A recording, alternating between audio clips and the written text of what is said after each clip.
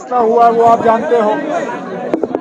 National conference की legislative party की meeting हुई। लेजिस्लेटिव पार्टी ने अपने लीडर का फैसला किया और मैं नेशनल कॉन्फ्रेंस के लेजिस्लेटर्स का दिल की गहराइयों से शुक्रगुजार हूँ कि उन्होंने मुझ पे एतमाद जताया, मुझ पे भरोसा किया और मुझे एक मौका दिया कि मैं राजभवन जाके गवर्नर साहब से हुकूमत बनाने का दावा करूँ। अब फ़िलहाल कांग्रेस से बातचीत चल रही है ताकि उनका सपोर्ट जो है वो मिले।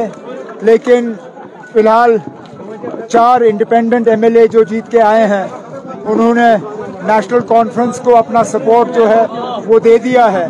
तो अब नेशनल कॉन्फ्रेंस का जो स्ट्रेंथ है वो 40 42 प्लस फोर इंडिपेंडेंट्स सो 46